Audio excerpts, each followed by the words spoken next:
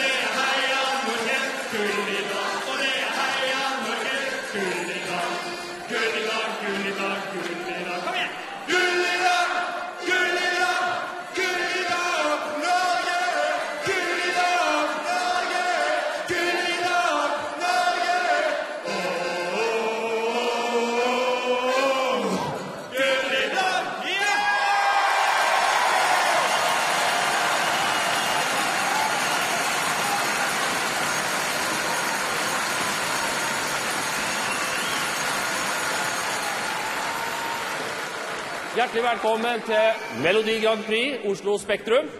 Melodi Grand Prix er en konkurranse hvor det viktigste ikke er å vinne, men at vi får noe å prate om. I tillegg så skal vi kåre en vinner som skal til Dublin 30. april. Det handler om musikk, og derfor har vi hyra inn elleve musikere, tre korister under daglig ledelse av Pete Knutsen.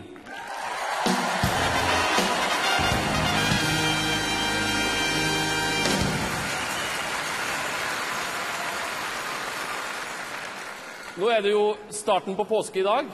Det sitter mange nå som har sittet flere timer i bilkø og siger frem. Noen er kanskje kommet på hytta og er i ferd med å kappe opp et frosset kneippbrød med motorsag. Og kanskje har noen av dere fått fyr på propan-TV-en og sitter nå i musespiste soveposer og følger med. Og takk for det. Og vi skal vie påska en eh, relativt stor del av denne sendinga fordi vi har en jury i Påskefjellet, nærmere bestemt, bestemt på Storefjell, hvor vi drar nå. Vi skal til Storefjell høyfjellshotell, og der har vi Vidar Lønn Arnesen. Hei på dere, Norge. Her er altså Storefjell høyfjellshotell. Og vi er faktisk 100, 1001 meter over havet. Vi er ca. 20 mil fra Oslo, 2 mil fra Gol, og Storefjell ligger altså på Golsfjellet. Og her er det herlig, det kan jeg bare si. Fin familieterreng for små og store. Og så kan vi se på dagen veldig langt. Faktisk nesten hele fjellriket i Sør-Norge. Vi har Norefjell i sør, så har vi Hallingskarvet, vi har Hemsedal, vi har Jotunheimen, og vi ser så langt, så langt, så langt. Og her er det liv og røre. Folk har sittet i biler, men nå har mange tatt seg da fram hit til Storefjell for å være med og skape stemning i Grand Prix. Og så er det jo også andre Ja, Det var da fælt av høyfjellsskryt, Arnesen. det er hyggelig her. Ja. Du har hyggelige folk med deg òg. Ja, det er liv i folk, vil du høre. Vi har bjeller og flagg her, ikke sant?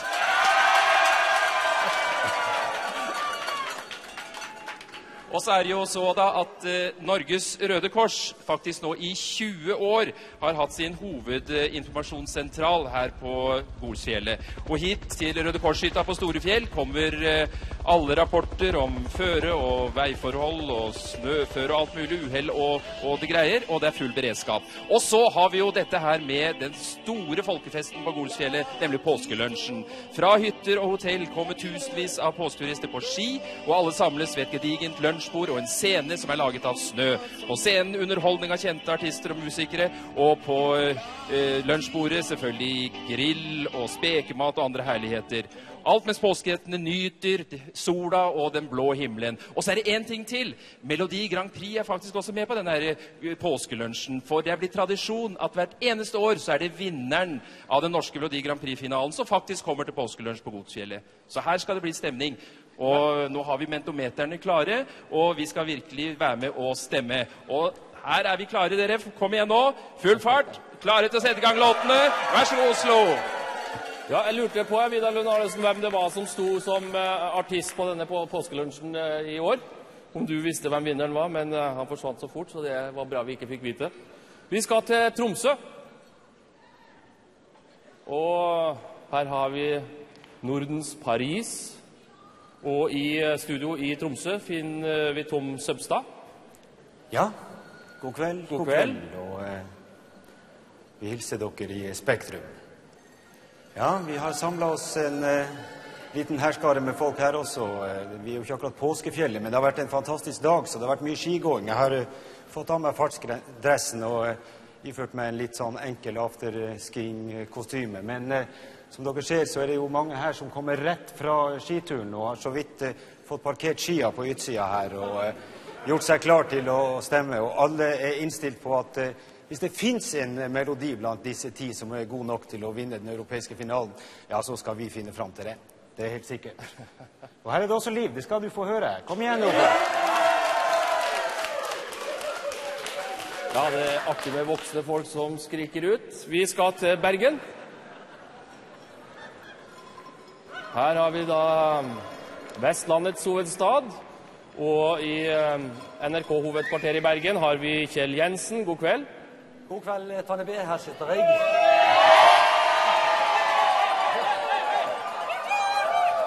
Ja, som du hører, her sitter jeg midt iblant en ellevill og uh, ungdommelig og våryr forsamling. For også her har vi hatt fint vær i dag. Det har vært uh, en snev av sol, og det varmet godt. Få høre en gang til. Er det godt liv i dere her? Ja, det var så vidt hørbart, tenker jeg. Uh, nå har det blitt meg fortalt at her er en del sangere blant denne juryen her. Vi kan jo ikke se det på dem at de er det, men eh, vi skal få høre noe, for vi har laget en liten sak som vi har øvd intenst på nå i eh, ti minutter, tror jeg. En liten musikalsk bølge fra Bergen som en presentasjon av juryen her til dere andre. Den går slik. Vær så god.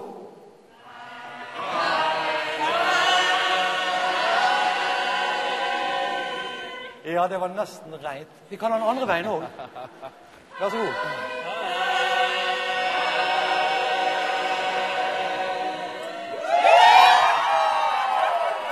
Ja, er det ikke det ene, så er det vårkåte bergensere. Dette kan bli sterkt. Kristiansand har sine fans her i Oslo Spektrum også.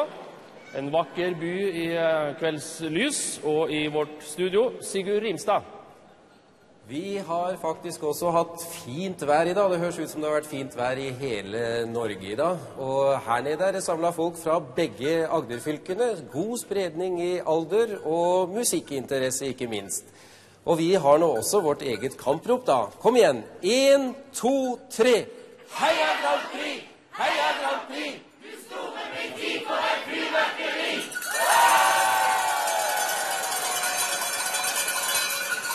Vi holder til i Parken kafé midt i hjertet av Kristiansand. og Denne kafeen har fått navnet etter Wergelandsparken, som ligger rett utafor her. og Der står faktisk Henrik Wergeland i kveld, riktignok i bronse, og beskuer det hele at her går det skikkelig for seg på Wergelands vis i Kristiansand.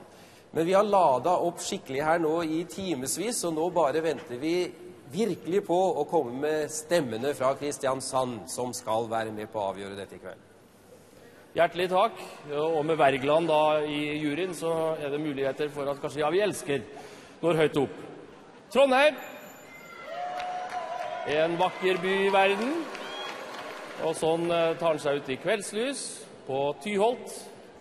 I NRK-lokalene der har vi eh, Tore Strømhaug. Og en del andre, ser det ut til.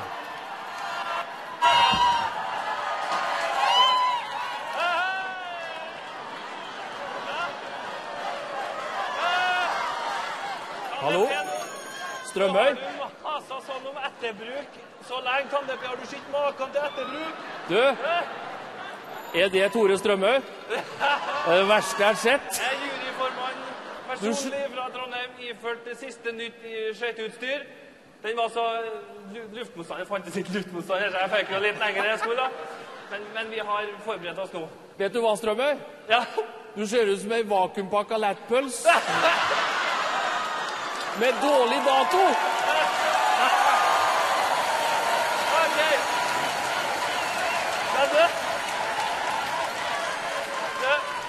Jeg inviterer deg oppover til å prøve denne fantastiske drakten etterpå, Tande så skal vi se hva det er du ligner på når du kommer så langt. Men se her, vi har masse publikum. Se høna fra Stjørdal! Vi har Holtolske skiløperkompani!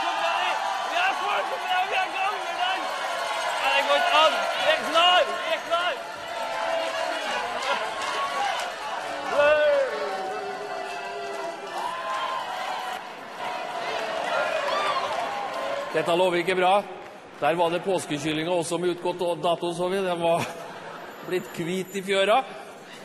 I tillegg til disse folkejuryene som vi har rundt på NRKs lokalkontor, så har vi i år gitt hele landet mulighet til å være med på å stemme på Melodi Grand Prix gjennom Norsk Tipping. Det har vært en gratis kupong hvor alle kunne krysse av for sin eh, vinnerkandidat. Og nå drar vi til Hamar og Norsk Tipping. Ja, hei, Der har vi Hamarbyen da, med Vikingskipet. Og hos Norsk Tipping har vi Tore Elman Tangen. God kveld. God kveld. Ja, her har vi da fra Norsk Tipping, og som du sikkert er glad for, Alf, her er det jo ikke noe tull vi finner på. Her er det jo trygt og sikkert, vet du. Ja. Men eh, Det har vi bare ditt ord for, skulle jeg til å si, men vi, vi stoler vel på det. det er sikkert. Det vi har gjort, det er at vårt dataanlegg har nå telt opp hva folkejuryen har valgt å inngi av forhåndsstemmer. Og det er ikke få. Det er hele 19 402 norske kvinner og menn som har valgt å inngi en forhåndsstemme. Og hva de har stemt, det er foreløpig en hemmelighet som jeg har dypt bevart i denne konvolutten, som jeg skal eh, åpne senere. Ja, du skal til og med åpne den på kommando. Takk skal du ha. Vi skal komme tilbake til um, alle disse juryene selvfølgelig etter at vi har uh, kjørt gjennom melodiene. Men vi har én jury igjen å presentere, og den sitter her i Oslo Spektrum. Og leder er Herborg Bryn.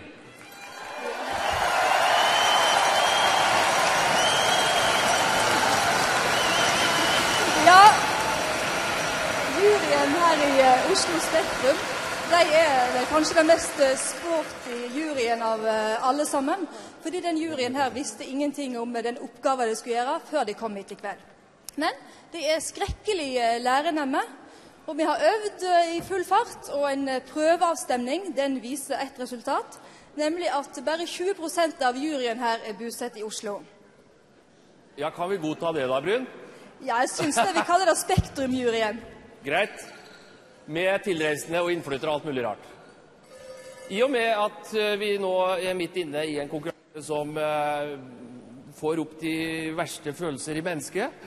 Og til dere nå som sitter allerede og kanskje hisser dere litt opp over Grand Prix i heimen, ikke la det gå ut over kjæledyr og kode og barn og eh, andre ektefeller. Hold dere i skinnet. Du skal få en dag i morgen. Vi prøver å gjøre det så riktig som mulig og så korrekt som mulig. Og vi har en dommer som jeg tror hele Norge har den største tillit til, Knut Bjørnsen.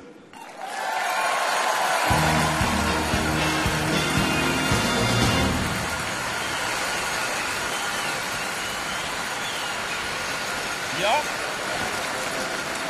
Yes. Her står to herrer i sine beste kilo. Ja.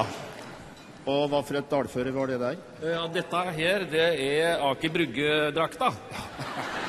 Den er veldig snedig hvis du skal ut en halvliters tid og ha et lite møte og sånt, og da pusser du deg opp i dette, og du kommer fra Sinsenkrysset. Syd for. Syd for Sinsenkrysset, ja.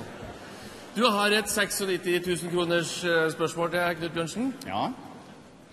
Et spørsmål er for... Nei, altså, er du klar, mener jeg? Ja, jeg er klar. Eh, Hva jeg skal gjøre her, kanskje? nei. Skal klokka skrus frem eller tilbake i natt? Klokken to skal den skrus en time fram. Beklager, da glapp eh, den skal tilbake.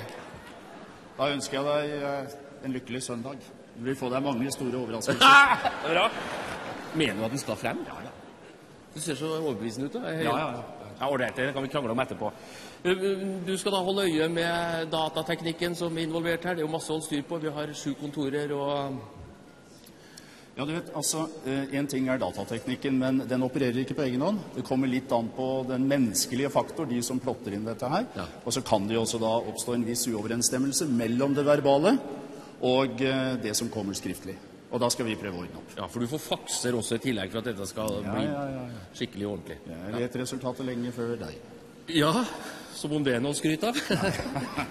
Men Bjørnsen, har du tenkt på det at det kan være en sånn hacker som det heter, som kobler seg inn på dataanlegget her, og så plutselig så spretter Voivoi frem som årets vinner? Hva, hva gjør du da? Jeg er ikke så sikker på om det ville vært så gærent, jeg. Da skal jeg hjelpe deg mot angst.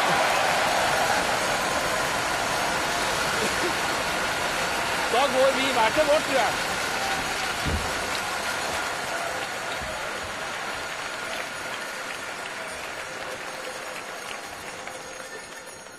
Nå tror jeg vi skal komme i gang før vi blir, eh, får eggene innover oss. Og da hadde vi jo en link til OL-egget også. Vi skal begynne i år. Dette er helt nytt av året. Vi begynner faktisk med melodi A. Og vi har gjort det sånn at eh, dette er jo en konkurranse for opphavsmenn, så vi presenterer de skikkelig. Så her kommer de som har stått for melodi A, tunge dråper. Dette er mer, og jeg har skrevet musikken i lag med Med. Og mitt navn er Stig Olav Gjendem. Norway, seven points. Og jeg heter Hans Henrik Sørensen, og jeg har skrevet teksten til Tunge dråper. Skonummeret mitt er 45. Og jeg har da lavere skonummer enn Botolf, nummer 42. Stjernetegnet mitt er tyren. Og jeg er veldig glad i mat, spesielt vegetarmat. Ireland. Og låta vår, den handler om uh, liv. Ja, og siden jeg er tekstforfatter, så blir jeg som tekstforfattere flest bedt om å synge a-er, enstrøken sådanne. Og her kommer den. A Ja, det var ikke helt klaff. Denne A-en vil vi møte igjen i programmet, fordi alle tekstforfattere skal prøve å plassere A-en riktig på tonekartet, og den står riktig i utgangspunktet, og så går den enten ned eller opp etter hvert som den da plasserer den gærent. Og dette var jo helt gærent da, den sank ned i dypet. Melodi A, tunge dråper, fremføres av en eh, kvinne, 22 år, fra Notodden, bor nå i Oslo. Hun håper å gjøre sangen til et levebrød. Karoline Gregersen.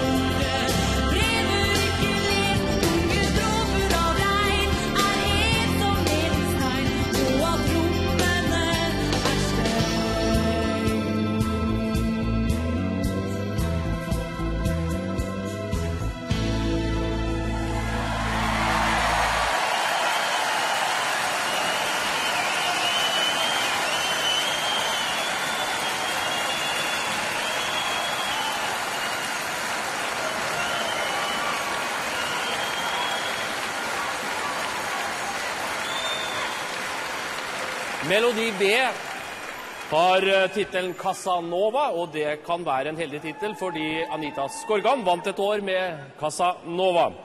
Men dette er en helt ny Casanova som er laget av Ja, jeg heter Per Berge Hansen, og jeg har komponert åndsverket Casanova. Jeg heter Eva Jansen og har skrevet teksten. Norvège 4 points. Mitt skonummer er 38. 43,5. Og teksten min, den handler om livet. Pays-Bas 16 points. Jeg liker biff med bearnés, med god rødvin til. Ja, det blir biff, det. Med god, med god vin til. Mitt stjernetegn er tyren. Og så var det denne A-en, da. A. Ja.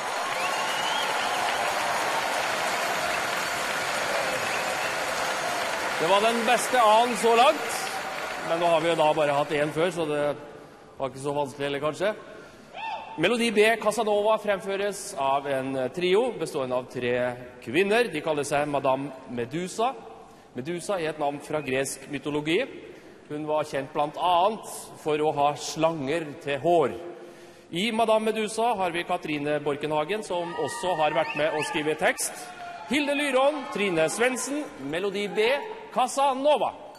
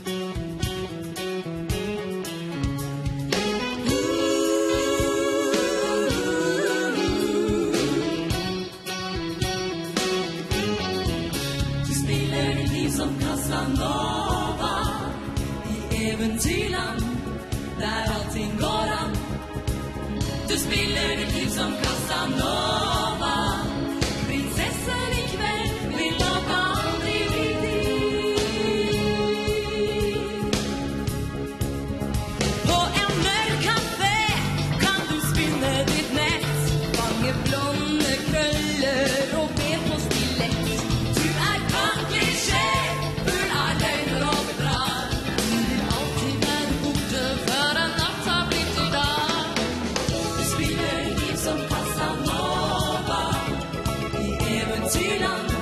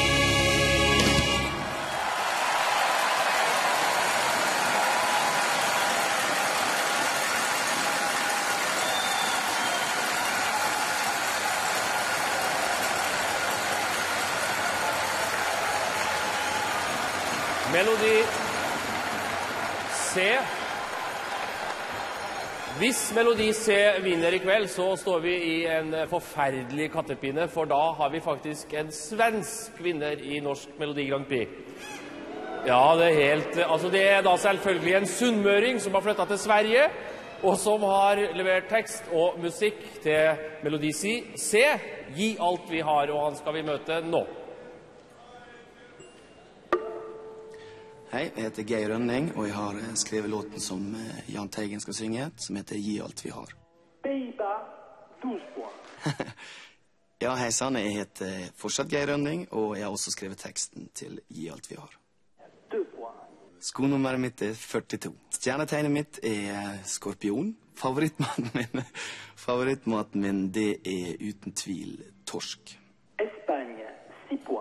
Det Angående innholdet av låten, så er det faktisk sånn at det, den låten handler om livet. Ja, så var det denne A-en, da, og den går sånn eh, I Sverige sier han sånn. Ah. Ja, men da Da forstår vi hvorfor han flytta til Sverige.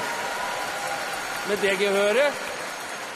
Artisten som fremfører Melodi C, han er Norges største null, hadde jeg nær sagt, men det sier jeg ikke. Han har skapt vårt mest berømte null. 44 år, far, bor i Oslo for tida. Han har vært med i Grand Prix i alle de 20 årene Grand Prix har vært, enten som artist, enten som programleder eller som underholder. Og da vet alle sammen at vi snakker om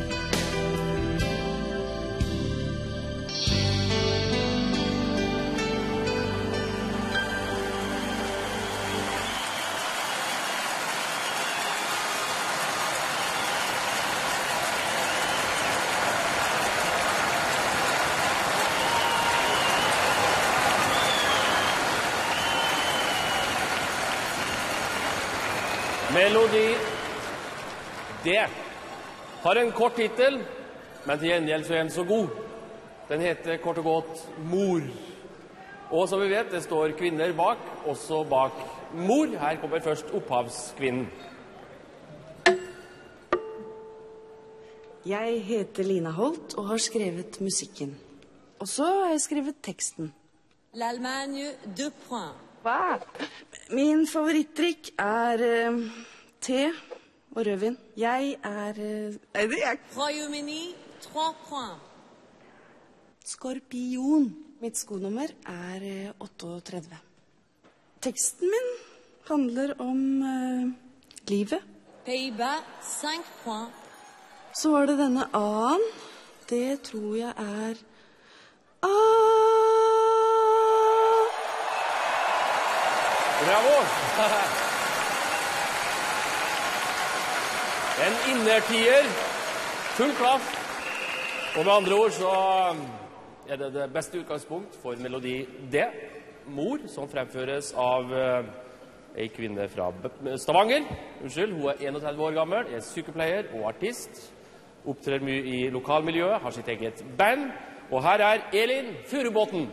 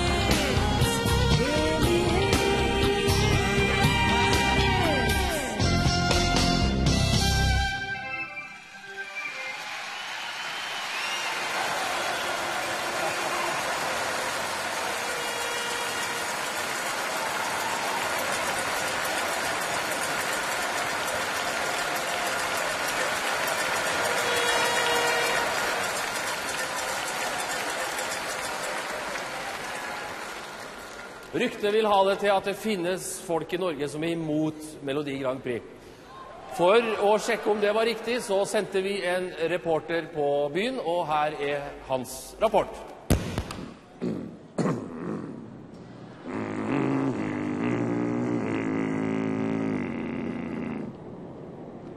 I den steinbrakka rett bak meg her så er det akkurat nå hundrevis av folkevalgte som sitter og pønsker på hvordan de skal greie å selge landet vårt. Selge fisken vår, selge bøndene våre, bygge om stavkirkene til sommerhus for feite tyskere osv. osv.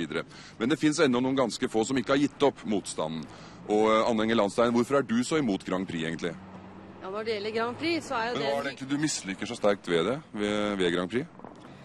Ja, Når det gjelder Grand Prix, så syns jeg det er eh, hyggelig og positivt at en kan eh, ha den slags eh, Tror du ikke det er nyttig for bøndene at Grand Prix kan være nyttig for bøndene?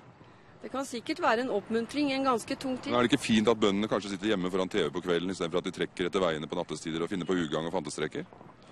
Ja, Nå veit jeg ikke akkurat hva de gjør, for de er vel som vanlige folk, går jeg ut fra, og syns det er hyggelig. Men, lenger, altså, vet ikke du hva bøndene gjør, egentlig? Du har vel oversikten?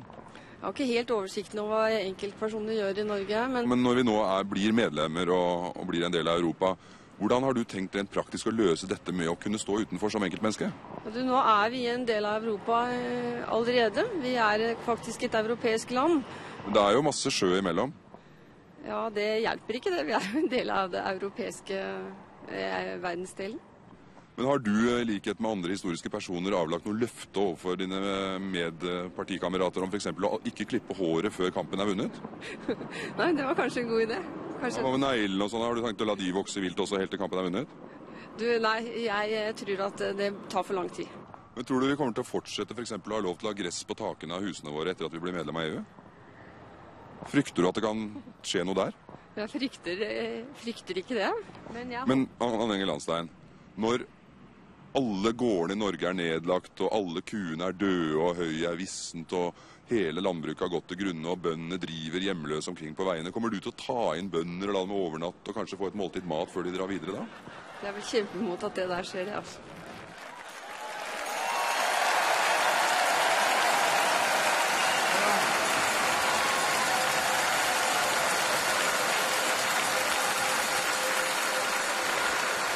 Etter dette kommer melodi E. E for EU-avstemning, f.eks. Melodi E heter 'Ensom natt', og først skal vi nå møte dem som har laga 'Ensom natt'. Hallo, alle sammen. Jeg heter Per Fredrik Kjølner og har komponert melodien til 'Ensom natt'. Og jeg heter Astor Andersen og har skrevet teksten. Royaume-Uni, 8 points. Som dere alle ser, er mitt skonummer 44. Min favorittrett er selvfølgelig pølse i brød, gjerne mediumstekt. Eh, gulrøtter naturell. Vil gjerne få benytte anledningen til å sende en hilsen til alle de som har støttet meg i alle disse årene. Teksten jeg har skrevet, handler om eh, livet. Og her kommer denne A-en.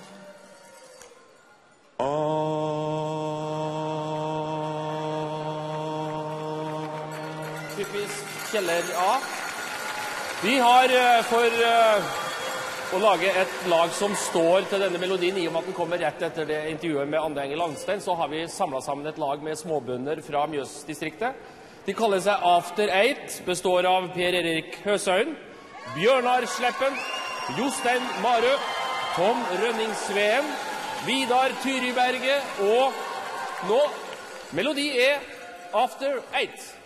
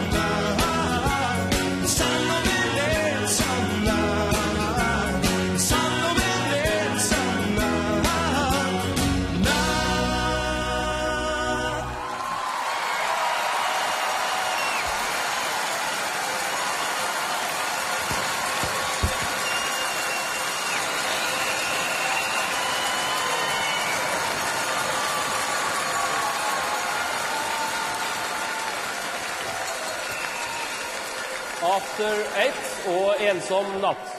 After Eight er et eh, danseband, og de gjør som Halvdan Sivertsen bruker å si, drar på tur opp og tur ned, og skal faktisk på spilling etter Grand Prix i kveld. Så sånn skal det være.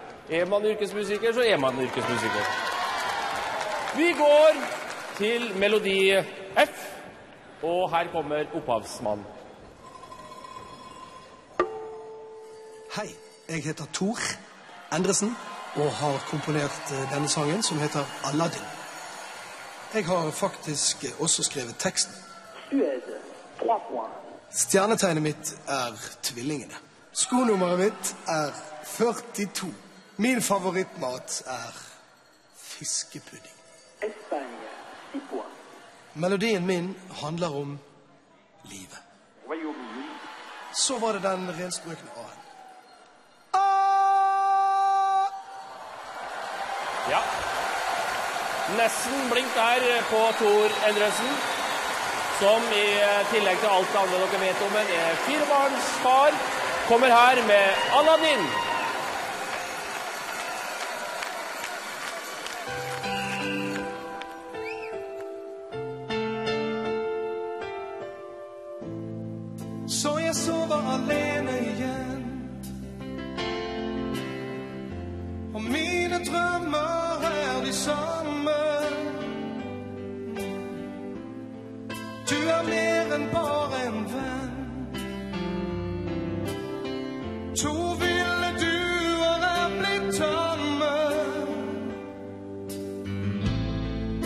Men det er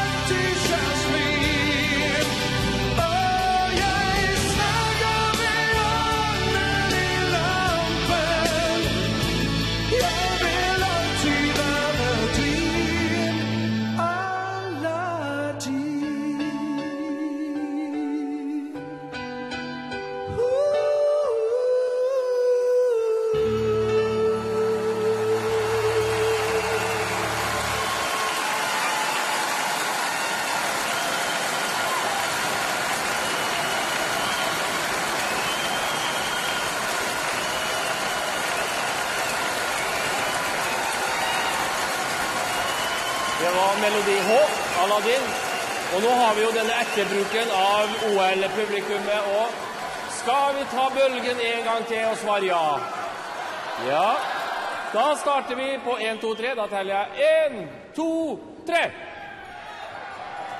Nei, hvor ble det av bølgen? da? Vi tar den en gang til. Bølgen på 1, 2, 3.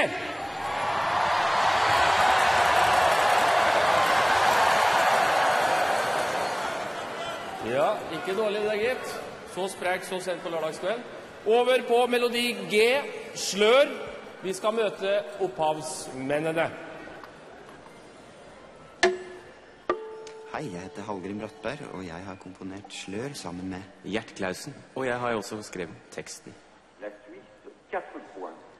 Jeg er født i Løven. Jeg er født i Vannmannen. Jeg har sko nummer 43. Skonummeret mitt er eh, ikke så svært. 40. Det beste jeg veit, er chicken tandoori. Det må bli elgsufflé.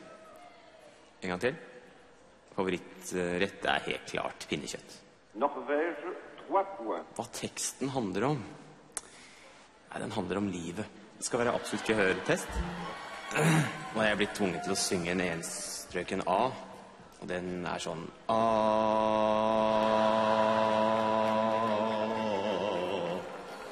Ja, den falt som renta. Melodi G, slør, fremføres av en gruppe ved navn Yellow Pages. Det har jeg funnet ut betyr gule sider, så det er mulig at jeg har en viss tilknytning til Televerket. Yellow Pages består av Gjert Klausen, Eivind Fivelsdal, Hallgrim Brattberg, Preben Olram og Bjørn Evstad. Og da er vi klar for Melodi G, slør.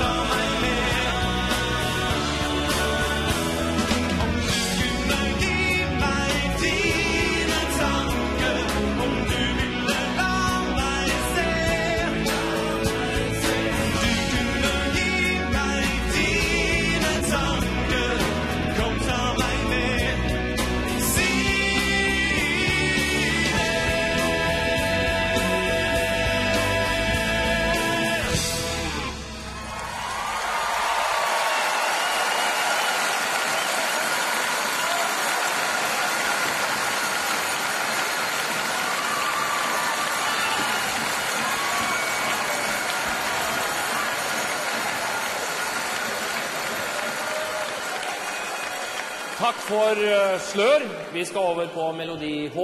Gi meg et tegn. Og som vanlig så tar vi da først et møte med opphavsmennene. Hei, jeg heter Are Selheim, og jeg har komponert musikken til Gi meg et tegn. Og jeg heter Øyvind Boska og har skrevet teksten. Stjernetegnet mitt, det er væren. Jeg er født i Fiskane. Favorittmaten min, det er pizza. Pepperbiff. Skonummeret mitt, det er 44. Pays-Bas, 6 points. Eh, Teksten min den handler om eh, livet. Det å være med i Grand Prix, det er veldig gøy. Ja, så var det denne A-en, og den kom her. A Hold deg til teksten, du far. Det var helbom. Artistene som skal fremføre Melodi H, Gi meg et tegn, er unge, men de har eh, relativt stor fjernsynserfaring. Dere har sett dem tidligere som syngende servitører i Rondo. Laila Nordhaug, 21 år, bor i Oslo, men kommer fra Herre i Telemark. Og hun har med seg en herre som heter Morten Kenneth Eriksen. Han er 20 år, forlova og klar for å fremføre Melodi H, Gi meg et tegn. Gi meg et tegn, gi meg sol eller regn. Gi meg øyne som ser hvem du er. Ser deg ensom en sommernatt når nordlyset spiller i meg. Om jeg var en forhekset som danset rundt deg. Aner hva fra nord. Myt som smyger seg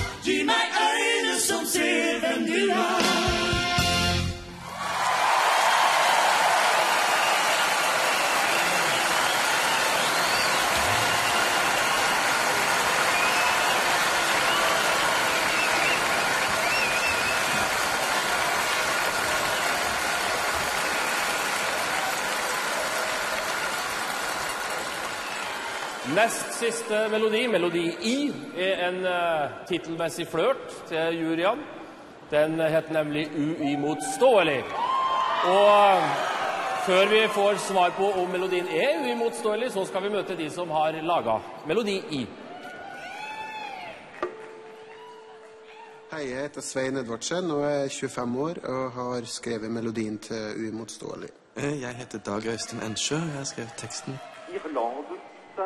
Eh, Jeg er født i Væren. Jeg har skonummer 43. Jeg har skonummer 45. Låten handler om livet. Jeg kommer fra Vik i Helgeland, Nordland. To Norway and to Oslo. Good evening, Oslo. Så var den renstrøkne A-en, da. A...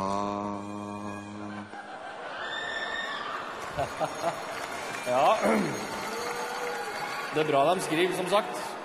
De to opphavsmennene er også med å fremføre melodi i, i gruppa Subdiva, som i tillegg huser Linn Rilvåg, Ketil Sørhaug og Sven Edvardsen, som sagt, og Dag Øystein Ensjø. Låt i uimotståelig. Ofte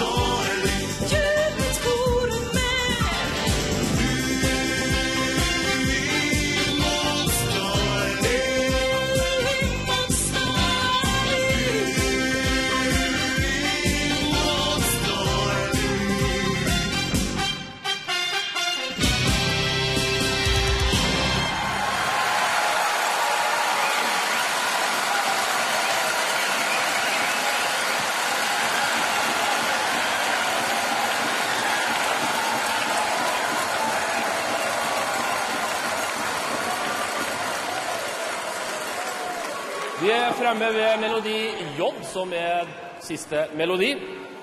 Melodi J heter Duett, og den er laget av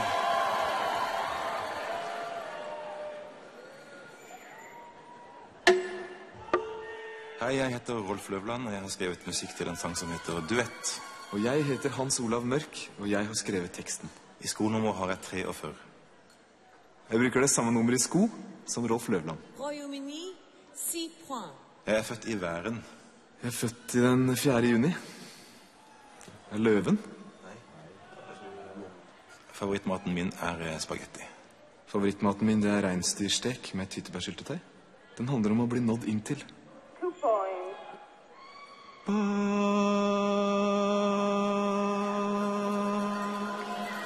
Lovende A-test på tekstforfatteren der. Så gjelder det artistene som skal fremføre melodi J. Vi har eh, en 17 år gammel eh, kar fra Nord-Odal. Heter Jan Werner Danielsen. Er sist kjent som vinner av Talentiaden 1994.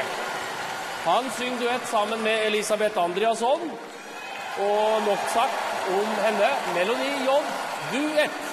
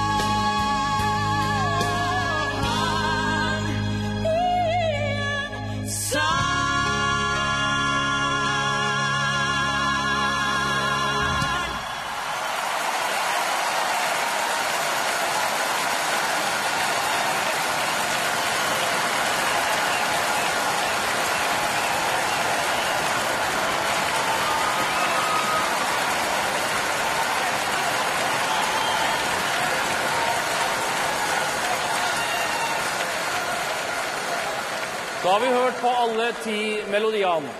Juryen rundt om på lokalkontorene til NRK og her, eh, juryen her i eh, Oslo Spektrum de har stemt etter hver uh, melodi.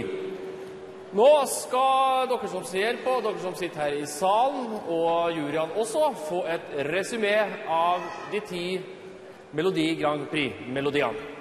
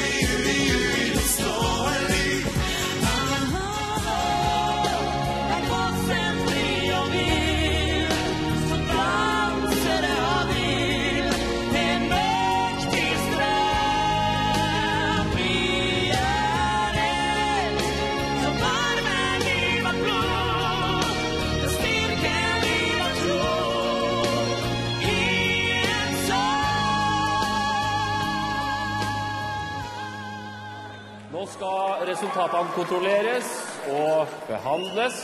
Og før vi får svaret, tallene som de enkelte melodiene har fått, så skal vi møte en eh, OL-personlighet.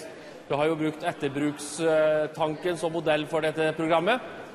Eh, Nå er det enkelte som vil eh, si at den personen som snart kommer inn her, ikke har noe med OL å gjøre. Det er dessverre noen som sier det. De sier at det ikke er snakk om OL, men Paralympics. Ta imot Renate Hjortholm.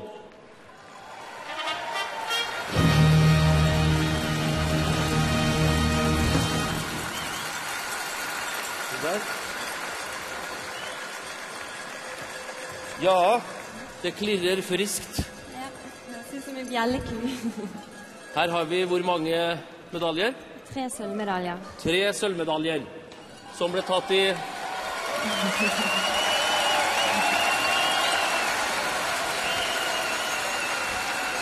De vant ei ut fra super-G storslalåm. Og i slalåm, der bare tabba du deg ut. Ja, der tabbet jeg skikkelig ut og kjørte ut i første omgang. Æsj. Ja. Nå er det jo egentlig ikke som idrettspersonlighet vi har kalt inn deg i dag, Renate. Det er som Grand Prix-deltaker, på en måte. Det folk ikke vet om deg, det er jo at du er en framifrå dikter. Ja. Hun var eneste kvinnelige deltaker i eh, alpinlaget i Paralympics. Og hver gang gutta skulle i aksjon, så snek hun seg inn på de mest intime lokaler som de benytta, og hengte opp dikt. Og til og med nakne damer, du, hvor du Jeg tenkte, Hva, hva betyr det? Jeg tenkte de tenkte vi måtte stå så tidlig opp, så jeg tenkte de at de skulle få noe å våkne på. da. De skulle få noe å våkne på, ja. Ja, Ja, det de fikk de sikkert.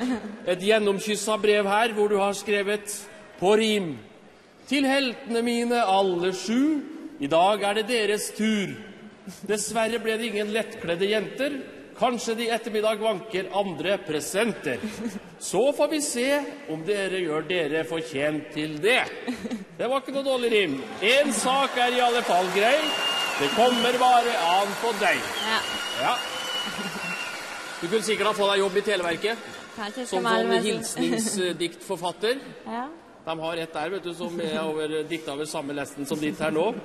I kveld vil lengslene leve og leke hos folket i stua og spurven i neke. Hvorfor eh, er det så få jenter med i eh, dine, din disiplin? Jeg vet, jeg vet i grunnen ikke. I Norge er det, jeg tror her i Norge er det litt fordi at det er tradisjon, tradisjon med langrenn. og hvis etter du har vært utsatt for en ulykke og du skal rehabilitere deg, så blir du gjerne sendt opp på Beitostølen. Og der, der er det langrenn stort sett det blir bedrevet. da. Og kanskje folk er ikke klar over heller at ja, hva som går an å, hva som går an å gjøre. Men eh, eh, vi skal ta eh, denne ulykken din. Du uh, mista høyrebenet. Ja. Jeg ble påkjørt av en motorsykkel for ti år siden og måtte, måtte amputere det ene benet rett under kneet. Men eh, få uker etter den operasjonen så var du på skia. Ja, Om ikke akkurat uker, så iallfall måneder etterpå. Så det, jo, det gikk, det gikk ganske fort. Det går ganske fort når du står på ski også. Hvor, hvor, hvor, hvor stor fart har du når du er på det forteste? Ja, I utforløypen så går det godt over 100 km i timen på det forteste. 100 km i timen? Ja. Ja, men du skjønner det at Nå har ikke jeg amputert et bein, men jeg klarer aldri å komme opp i mer enn seks før jeg går på eh, baken. Hvem har da det største handikappet av meg og det? Nei, jeg må si at eh, jeg, jeg føler meg ikke så veldig handikappet i alpinløypen. Det gjør jeg ikke. Men vi har jo trent ganske mye på det, da. Skal vi se noen bilder av deg i eh, farta? Det er vel fra Super-G. Ja.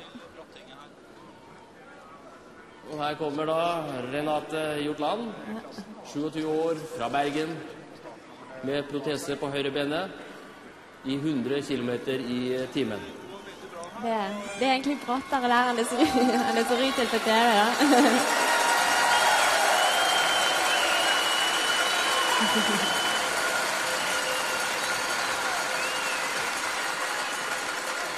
Og går i mål.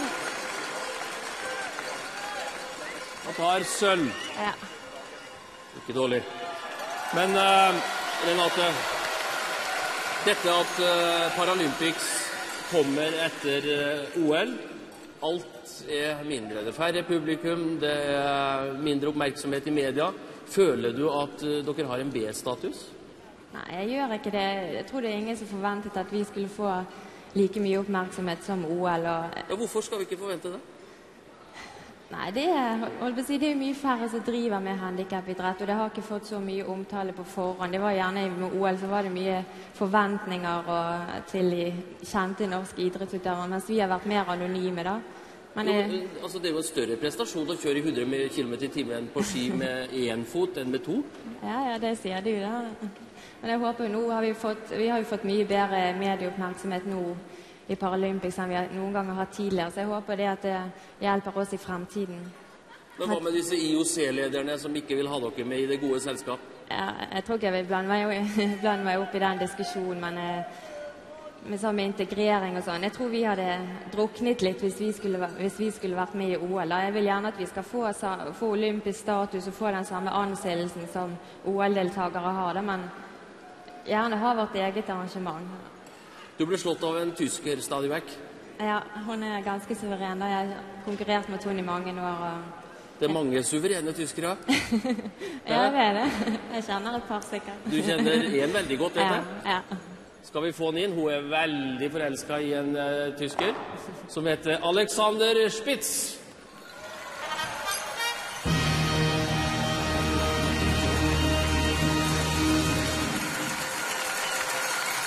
Velkommen.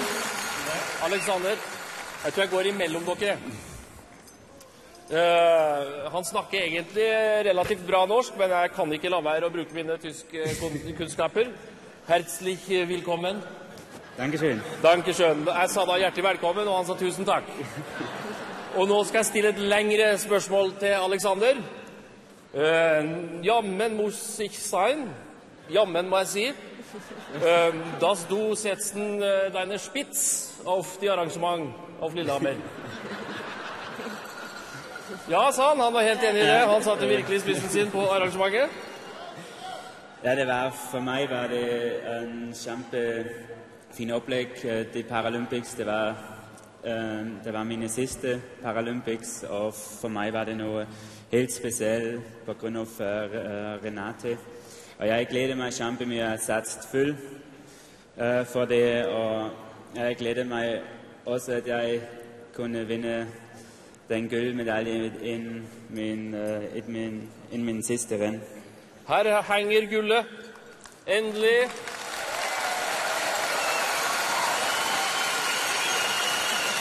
Nå er det jo det, da. Disse to er så forelska at det er nesten uh, litt dumt å stå imellom der. Men jeg har i, i, tråd med det Det skal bli kort ventetid her, Natte, men jeg har i tråd med det så har jeg laga et dikt til dere. Og det skal jeg fremføre nå på tysk. Og da må jeg få ro i salen, for dette er et relativt uh, flott åndsverk. Sie treften sich in eine amerikanische Skiheisen und snart sollen sie hinanderen geben eine Ja mit im Fleisen.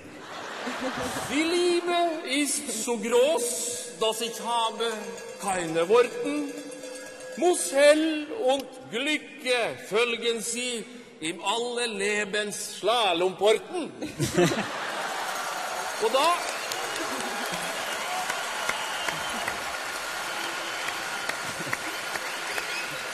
Renate og Alexander, dere har vært mye spekulasjoner om når dette bryllupet mellom dere skal stå. Når eh, blir det? Jeg tror jeg må lese de avisene. Det Du skal lese i avisen først, ja. Du trenger ikke å lese eh, detaljer om bryllupsreisen. Den går til Dublin 30. april. Hei. Vær så god.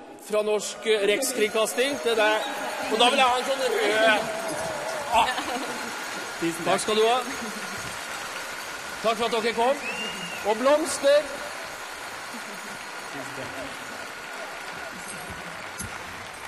Og da Dommer Knut Bjørnsen. Ja, her eh, sitter jeg. Alle data er innhentet, alt er under kontroll. Alle data. Skal vi kort si noen ord om åssen eh, du overvåker eh, avstemninga? Ja, altså, nå er det jo dette stemmerettssystemet som vi må være klar over varierer litt. Grann. Eh, Det er sju steder. Hamar skiller seg litt ut. For som det er sagt tidligere, så er det altså forhåndsstemt over 19 000 stemmer via Norsk Tipping. Og denne totalsummen den utgjør altså 100 da selvfølgelig, eller 100 poeng. Og så får hver enkelt melodi poeng etter antall stemmer i forhold til totalsummen. Og det vi kan vente oss fra Hamar, det er 100 poeng sammenlagt, verken mer eller mindre. Så er det litt grann annerledes allikevel etter samme prinsippet når vi kommer til de seks andre stedene. For eh, der får hver enkelt melodi eh, prosent i forhold til den totale jurybesetning. Altså om det er 85 eller 100 eller 200 spiller ingen rolle. Det er altså prosenten som teller, så blir det delt ut i poeng. Og der kan vi altså regne med langt over 100 poeng, for jurymedlemmene har lov til å stemme på flere melodier. Og vi er klar. Alt har fungert perfekt så langt. Alt i orden? Det hørtes innfløkt ut, men vi lærer sikkert underveis. Og vi går likså godt i gang, og vi skal da til eh, første DK-kontor. Vi skal til Tromsø. Tom Søbstad. Ja. Er du eh, klar til å avgi tallene? Vår, og eh, vi er klar til å avgi stemmer. Vi begynner med melodi A, som seg hører bør. Den har fått 23 stemmer i Tromsø. Tunge dråper får 23 stemmer. Melodi B 40 stemmer. Casanova 40 stemmer. Melodi C, der har vi 32 stemmer å avgi. Gi alt vi har, 32 stemmer. Melodi D, jeg vet ikke om det sier noe om Tromsø-juryens forhold til sitt eh, moderlige opphav, men her opererer vi med ni poeng. Mor 9 poeng. Melodi E, Ensom natt, har fått 42 poeng. Melodi E 42 poeng. Melodi F, der uh, gjør vi et byks, for der har vi kommet til 70 poeng. Aladdin 70 poeng. Vi er kommet til G, så vidt jeg husker, ja. Og der står det 30 poeng. Slør får 30 poeng. Melodi H, 46 poeng. Gi meg et tegn, 46 poeng. Melodi I, uimotståelig, virker ikke slik her, 30 poeng. 30 poeng til uimotståelig. Og så er vi kommet fram til eh, melodi J, og eh, da er vi ved den vi likte best. 77 poeng fra Tromsø. 77 poeng. Og da får vi en leder etter første poenggivning. Det er Duett som leder med 77 poeng. Aladdin på andreplass med 70. Og Gi meg et tegn på tredjeplass med 46 poeng. Og så Kristiansand, Sigurd Rimstad. Ja, vi er klar i Kristiansand. Og melodi A begynner vi på da. Vi går ikke fullt så sterkt ut som eh, vi gjorde lenger nord. Fem poeng på melodi A. Fem poeng til melodi A, tunge dråper. Så har vi melodi B, Casanova. Den får 59 poeng fra Kristiansand. Casanova får 59 poeng. Så har vi melodi C. Den får 53 poeng i Kristiansand. Gi alt vi har, 53 poeng. Melodi D, bare 9 poeng. 9 poeng også i Kristiansand D, mor. Så har vi melodi E, Ensom natt, 32 poeng. 32 poeng til melodi E. Melodi F, Aladdin, 75 poeng. Og 75 poeng til melodi F. Så har vi melodi G, Slør, 13 poeng. 13 poeng til melodi G. Melodi H, 75 poeng det nå. Og 75 også til melodi H. Så har vi melodi I, 9 poeng i Kristiansand. 9 poeng til melodi I. Så kommer vi da til melodi eh, J, duett, som uh, musikken er skrevet av bysbarnet til Henrik Wergeland, som vi snakka om her. 92 poeng! 92 poeng til melodi J. Og da ser vi på en eh, sammenlagt liste som viser at melodi John duett ligger tet med 169 poeng, tett fulgt av Aladdin 145. Og Gi meg et tegn 121. Vi går til Storefjell og Vidar Lønn Arnesen. Ja, det her oppe har vi hatt fint. Har med glede hørt alle melodiene. Vi er altså 1001 meter over havet. Og nå skal vi sende resultatet til dere herfra rett opp til en satellitt, og så ned igjen til dere i Oslo, og så ut på senderne våre. Resultatet fra Storefjell, Golsfjellet. Melodi A, Tunge dråper. 35 poeng. 35 poeng til Tunge dråper. Melodi B, Casanova. 54. 54 poeng til melodi B. Så har vi eh, melodi C, Gi alt vi har. Og det har vi sannelig gjort via mentometerknappene våre. 40 poeng. 40 poeng til melodi C. Melodi D, Mor, fikk dessverre bare 10 poeng fra Storefjell. 10 poeng til melodi D. Ensom natt, melodi E, noen flere poeng. 21. Og 21 poeng til melodi E. Men så gjør vi et ganske godt sprang her til melodi F, Aladdin. 76 poeng. 76 poeng for Aladdin. Men så går det nedover igjen, da. Melodi G. Det ligger et lite slør over det hele her. 22 poeng bare. Og melodi G 22 poeng. Men så går det oppover igjen, for Gi meg et tegn. Det var sangen på H. 69. 69 poeng. Men som det gjør ellers i livet også, det går opp og det går ned, så nå går vi ned. Eh, melodi I, uimotståelig, bare 14 poeng.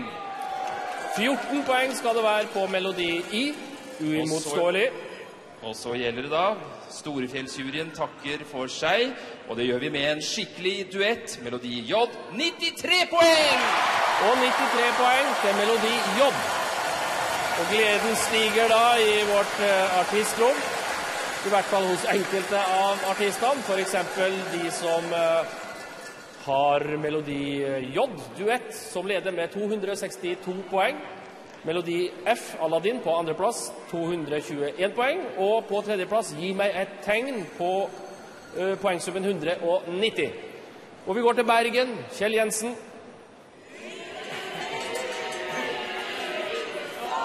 Ja, her er liv i den eh, Her er liv i den bergenske juryen fortsatt, som vi hører. Og eh, det har eh, vært visse sanger her som har gjort inntrykk, tydeligvis. Ok, eh, den bergenske jury har talt, og her er dommen. Melodi A har fått 59 poeng i Bergen. 59 poeng til melodi A. Melodi B 53. 53 poeng til melodi B. Og melodi C den har fått eh, 34 poeng. 34 poeng til Gi alt vi har. Så var det melodi D, stakkars mor. Bare sju poeng i Bergen. Sju poeng. Sju poeng til melodi D. Melodi E har fått eh, 27 poeng. 27 poeng til melodi E. Og så har vi eh, melodi F. 76 poeng. Aladdin får 76 poeng i Bergen. Melodi G 34. Og 34 poeng til melodi G. Melodi H har også fått 34 poeng. 34 poeng også til melodi H. Så var det melodi I, altså melodi I. 47 poeng. Og 47 poeng til uimotståelig. Og så var det den siste, da, melodi J, som har fått 76 poeng i Bergen. 76 poeng til melodi J, duett. Og Det betyr at uh, duett beholder plassen i teten med 338 poeng. På andreplass Aladdin med 297. Og på tredjeplass Gi meg et tegn 224 poeng. Da skal vi til eh, Trondheim. Tore Strømøy. Hallo. Eh, vi er klar med resultatene fra Trondheim-turen. Melodi A, tunge dråper, får 33 poeng. 33 poeng til melodi A. Melodi B, Casanova, 42 poeng. Og 42 poeng til Casanova.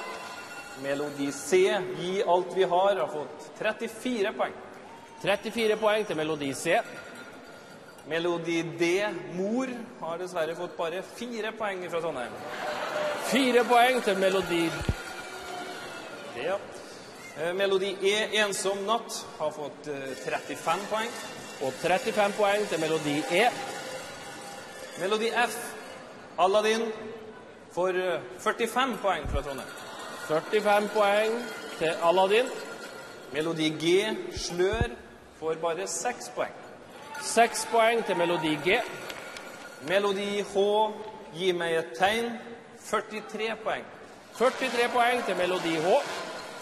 Melodi I, Uimotståelig, får 11 poeng fra Trondheim. 11 poeng til melodi I. Og den siste hilsninga fra Trondheimsjuryen går til Melodi J og duett, som vinner soleklart totalt 81 poeng! Og 81 poeng til melodi J. Takk til Tore Strømøy og Trondheimsjuryen. Stillinga er da den at eh, duett Melodi J har eh, øka ledelsen til 419 poeng. På andreplass Aladdin, Melodi F med 342 poeng. Og på tredjeplass Melodi H, Gi meg et tegn, 267 poeng. Og da er det juryen her i Spektrum, Herborg Bryn.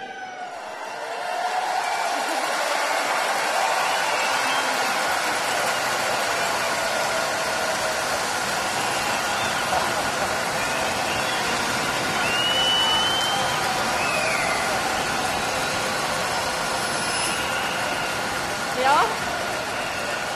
Her i eh, Oslo Spektrum så har eh, Melodi A fått 31 poeng. Melodi A 31 poeng. Melodi B 36 poeng. Melodi B 36 poeng. Melodi C 78 poeng. Melodi C 78 poeng. Melodi D 9 poeng. Melodi D 9 poeng. Melodi E 40 poeng. Melodi E 40 poeng. Melodi F 86 poeng. Melodi F 86 poeng. Melodi G 18 poeng. Melodi G 18 poeng. Melodi H 54 poeng. Gi meg et tegn 54 poeng. Melodi I har fått 22 poeng her i Oslo. Uimotståelig fikk 22 poeng. Og Melodi J har fått 80 poeng. 80 poeng til Melodi J. Og da skal vi se om det er sjanser for at eh, Melodi F, Aladdin, kan ta igjen Melodi J, duett, som leder med 499 poeng nå. Aladdin har 428. Mens Melodi H på tredjeplass har Gi meg et tegn. Vi har én jury igjen, og det er Norsk Tippings Uh, opptelling av uh, de stemmene som er gitt av folk over hele landet. Og da Hamar og Tore Tangen. Ja, jeg står her med konvolutten som inneholder folkejuryens stemmer. Og eh, som det har blitt sagt før, folkejuryen har jo da 100 stemmer til fordeling, og de fordeler seg som følger. Melodi A, tunge dråper, ett poeng. Melodi A, ett poeng. Melodi B, Casanova, tre poeng. Casanova, tre poeng. Melodi C, Gi alt vi har, fire poeng. Melodi C, fire poeng. Melodi D, Mor, ett poeng. Melodi D, ett poeng. Melodi E, Ensom natt, tre poeng. Melodi D Nei, E, unnskyld. Ensom natt, tre poeng. Og melodi F, Aladdin, syv poeng. Melodi F, syv poeng. Melodi G, Slør, ett poeng. Melodi G, ett poeng. Ja, og melodi H, Gi meg et tegn, to poeng. Gi meg et tegn, to poeng. Melodi I, Uimotståelig, ett poeng. Og ett poeng til melodi I. Og siden dette skal gå opp i 100 poeng da, så blir det 77 poeng til vår Melodi J-duett. 77 poeng til Melodi J, og vi har en klar vinner. Melodi J-duett. Komponert av Rolf Løvland, tekst Hans Olav Mørk. Fremført av Elisabeth Andreasson og Jan Werner Danielsen.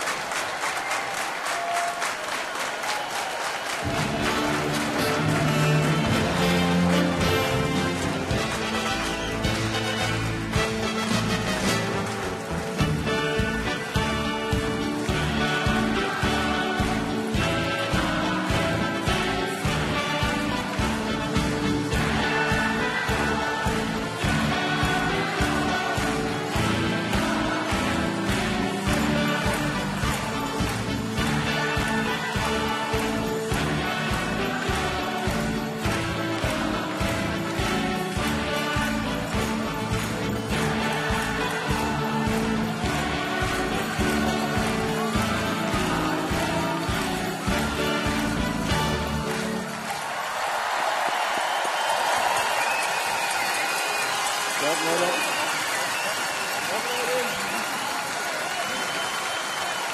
Gratulerer. Gratulerer. Opp på linje her. Fort og gæli. Unnskyld. Da skal vi ha dette sånn. Og sånn har vi en vakker montasje her. Det skal være medaljer i disse Grand Prix-leker. Og da, Løvland, får du en gullmedalje. Tusen takk skal du ha. Og takk for eh, musikken. Elisabeth får gull. Jan Werner, du får gull nok en gang. Det begynner å bli en vane, dette. Det eneste denne gutten ikke har vunnet, det må være fruktkurven nå. Og så har vi teksten til Mørk. Og applaus og blomster.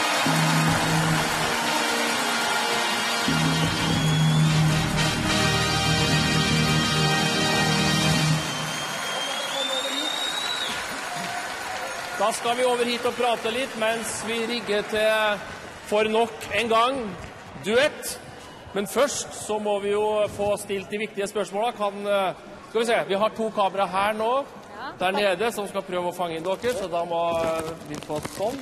De mørke Løvland, du har jo gjort uh, dette før, så dette var vel ingen stor overraskelse? Jeg må bare få lov å takke to fantastiske vokalister, for uten de så hadde ikke dette gått. Jeg har skrevet en sang som jeg, jeg bare skjønner at eh, de har båret fram, og de har tatt fatt i løfta han opp til et fantastisk nivå. Så jeg er bare forferdelig glad i det Jan Werner og Elisabeth har gjort. Vinneren i Dublin. Vi skal være med og slåss. Bra. Så har vi tekstforfatteren. Og dette er en eh, gateprest Det stemmer. Gateprest er tittelen. i Oslo Bymisjon. Det stemmer. Hva sier eh, geistligheten? Er det velsigna det at du driver og skriver sånne verdslige tekster? Jeg går ut fra det, at resultatet er tatt i betraktning. Du er vant til å gå opp? Jeg er vant til å gå både opp og ned, og det tror jeg er viktig, at en kan begge deler. Så har vi da Jan Werner. Ja. Nord-Odalen. 17 år. Karrieren starta på gutterommet. Ja, for så vidt. For så vidt. Og har foreløpig da endt her i Spektrum, hvor du har vært før og henta gull og heder og ære. Ja, det er et, eh, en fin sal. Hva er det neste nå du har lyst til å, å, å ha med hjem? Ha med hjem? Ja, til Nord-Odalen. Nå må du bare si hva du skal ha, liksom. Ja. Kongens fortjenestemedalje. Eller noe sånt. Norges Vels medalje i gull. Det ser ut til at du har eh, lisens på å få de fleste. Nei, Jeg klarer meg med det jeg har fått foreløpig, jeg tror jeg. Beskjeden ungkar, sånn skal det være. Svigermors drøm også. Vi sier det, ikke sant? Ja, det syns jeg òg. Og Bettan, da? Ja, du, dette var fantastisk eh, En stor dag. Ja, det var veldig gøy. Og jeg vil si til alle som sitter nede i green room, at uh, det har vært en fantastisk uke å få jobbe med alle sammen. Vi har hatt det kjempegøy. og jeg sender en hilsen ned til green room til alle sammen som sitter der. Også. Skal da få lov til å oversette for de av oss som har dårlig folkeskole. Green room er da en slags populær betegnelse på rommet hvor artistene sitter og Ja. hisser hverandre opp. Det er, det er sant. Du har jo hatt eh, både ene og det andre. Du har avslutta en suksessfylt forestilling på Chateau Neuf. Dizzie Ja. og damene. Jeg har spilt eh, forestilling med disse damene, og det var veldig eh, hyggelig. For at vi skal jo på igjen, vi. Så det er bare Ja, og du skal på messejobb etter dette i kveld. Så skal vi på messejobb, og så skal vi Nei da. Gulvet klart! Nå skal vi på fest! Innta plassene. Gjør dere klart en siste fremføring av duett. Unnskyld. Og opphavsmennene kan eh, egentlig gjøre hva de vil. Dere kan stå på hendene eller legge dere på ryggen eller hva som helst. Og vi sier da tusen takk til alle dere eh, som har fulgt med Melodi Grand Prix 1994. Den internasjonale finalen går i Dublin 30. april, og Norge blir da representert med melodien Duett.